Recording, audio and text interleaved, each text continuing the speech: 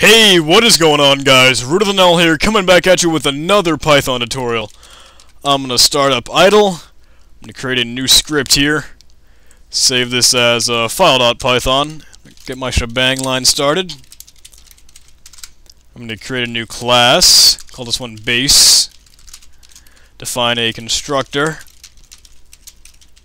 Pass in the self keyword break out of our class and test in the global scope if the name of our script is equal to main, or in other words, if this is the current script we are running or this isn't included, we're going to create an object or an instance of our base class.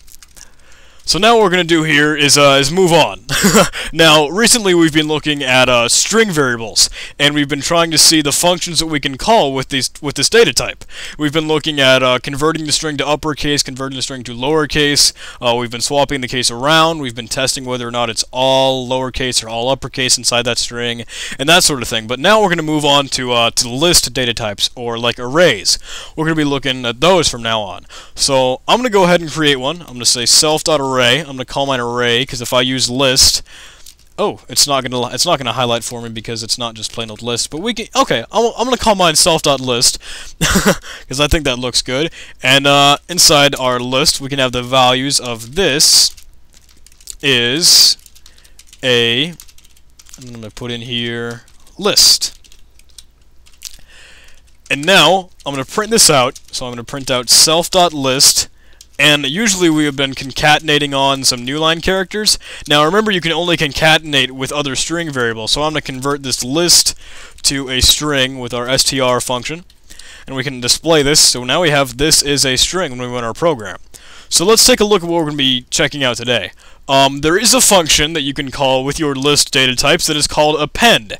And what this function will do is, uh, is a little operation that we've been doing a lot recently, and it's appending onto the end of the array. So if we had uh, our array or our list here called uh, this is a list, or at least with the values this is a list, what it will do is it will add on another value at the end here. And that's what append is called. That's, I mean, that's the definition of append. It'll add something on at the end.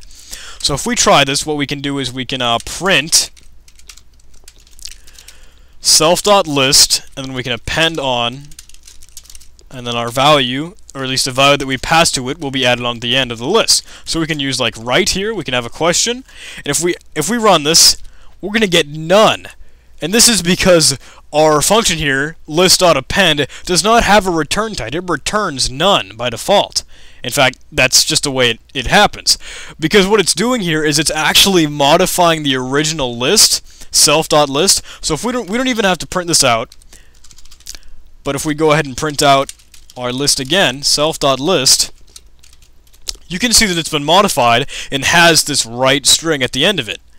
So it's actually modifying the real argument that we passed to it. So if we if we try and do this on our own, I'm gonna have it return to us the actual array. So uh, and uh, you'll see what I mean. Let's get the function started anyway. I'm gonna call mine append. I'm to pass in self array and append this. In our case, append this is what we're going to be appending. So now we can set up array. We can add on to it with our assignment operators, plus equals, and inside of our brackets here, or these braces, so we know that's a data type of, of, an, of, a, of an array, or of a list, sorry. I'm tripping all over my words here, and we're going to put inside the value of append this, or what it is that we planned on appending. And then when we're done, we can just simply return array. So now if we run this, we can print self.append and we can pass in self.list and we can add on write just like we did before. And now you can see this is a list with write here at the end. If we run this after we had appended it with the original function though, remember, now that it's adding this, uh, now that it originally adds this right up here, we have a we have two writes because we've done it with our function and with the one up there. So let's let's comment out the first one, the default built-in function, and let's take a look at our our new our new list all by itself. We can do print out self.list and now you can see it still has write on there. It's actually it actually has modified the original variable because we've taken what we've passed in here and we're actually adding on to it inside the array.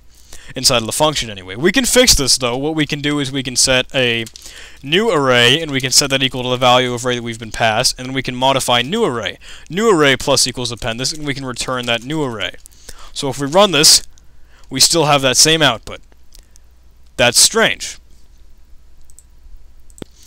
But you know, it looks like it's only doing this because we've set new array equal to the value of the original array. So it looks like it's still working with what we've passed to it. But what if we what if we sort of change this around a bit? What if we returned array plus and then the value of append this? So we're adding them together, but we aren't modifying anything really. So if we run this, we get this is a list, right? And then we have this is a list. So it's true, we aren't changing any of the variables, we're just sort of displaying both of them. So you can really work around with this. There are a lot of interesting code techniques and tactics that you can do here without having to have to modify the original variable, and we're using this equal sign that assignment operator. So uh, this one could be a little bit more complex depending on how you look at it, especially understanding the way variables are passed to functions. But hey, I hope you guys understand the idea, or you can at least comprehend what we're doing here. And yeah, I hope to be seeing you guys in the next tutorial. Adios.